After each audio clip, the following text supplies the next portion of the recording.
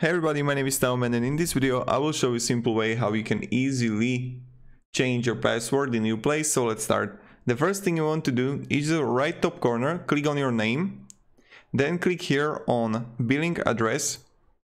When you're gonna do it, you will see here edit account information. Let's click on it. And voila, it's going to load.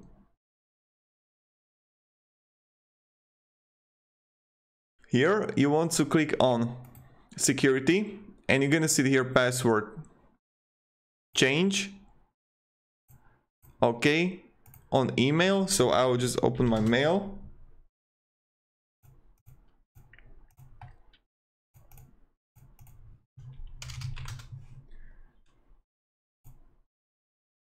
Nice and you can see it right here that reset your password and you just reset the password here. So that's pretty much it. Thank you everybody. Have a great day and see ya. Goodbye.